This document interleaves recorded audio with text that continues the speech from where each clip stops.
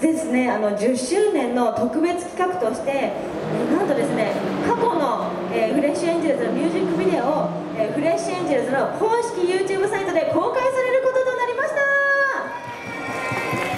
はいもうね先日、えー2015年のサーカスが、えー公開されたんですけどももうみんな見てくれましたか？あ結構見てくれた人いる。ありがとうございま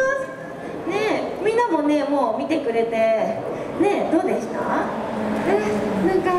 あの2015年の時のミュージックビデオ私見たことなくってやっぱり見たことない人にも昔の、えフレームが見れたりとか、えー今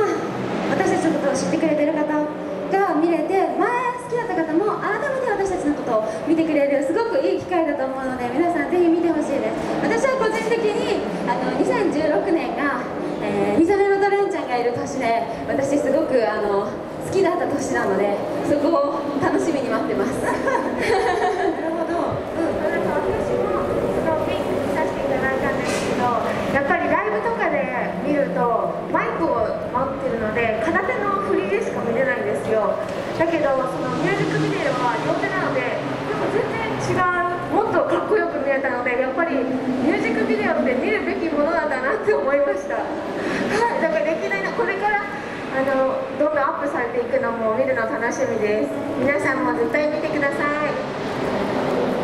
はい。なんかあの PV っていうのって大体テレビとかじゃないと見えないじゃないですか。でも YouTube って今携帯でどこでも見れるしあの1日にね1回あの見ていただくと再生回数が増えるというね魔法のねあのあれがあるんで、はい、1日1回ぜひ